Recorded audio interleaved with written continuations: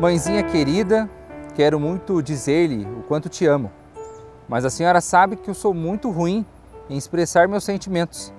Porém, eu a amo muito. Sinto-me feliz quando estou conversando com a senhora. É como se estivesse ao meu lado, pois sinto a sua presença. O dia todo, meu pensamento volta-se para a senhora. Eu peço as graças que necessito para mim mesma e para as outras pessoas que estão em dificuldade. Confio que meus pedidos são sempre atendidos e agradeço sempre. A senhora me dá paz, tranquilidade e um desejo imenso de estar ao seu lado, ao lado de Jesus e também do meu anjo da guarda. Quero amá-la sempre, cada vez mais quero trazê-la sempre em meu coração, pois é meu refúgio, minha luz, minha paz. Peço-lhe perdão pelas vezes que me distraio durante as minhas orações.